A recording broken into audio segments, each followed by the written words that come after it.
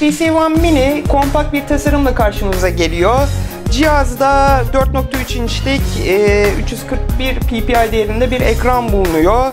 E, Snapdragon 400 çift çekirdekli 1.4 GHz'lik bir e, işlemci var. Bununla birlikte 1 GB RAM, e, 16 GB ise depolama alanı bulunuyor. Fakat bu 16 GB'ın 5 GB ise işletim sistemi tarafından kullanılıyor.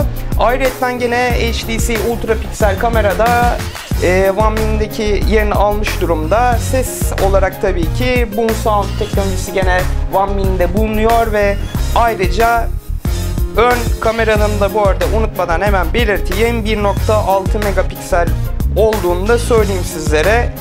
Cihazın tasarımı tek elde kullanılmak üzere yapılmış ki tek elde denediğimizde gayet başarılı e, bir şekilde sadece tek parmağınızla hemen ekranda istediğiniz her yere dokunabiliyorsunuz.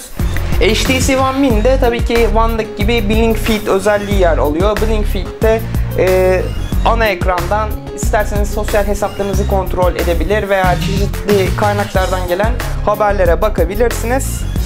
Diğer bir cihazımız ise HTC Desire 500. Ee, HTC Desire 500 e, One ve One Mini'ye e, karşı plastik bir kasaya sahip. Renkli olan bu kasa dışarıdan bakıldığında oldukça e, hoş bir görüntü sergiliyor. Ve ayrıca bu e, kasanın da aslında dayanıklı olduğunu belirteyim. E, cihazda 4.3 inçlik bir ekran yer alıyor. Ayrıca gene Snapdragon 200 e, işlemci bulunuyor ki bu işlemci 4 çekirdekli ve 1.2 GHz'de çalışıyor.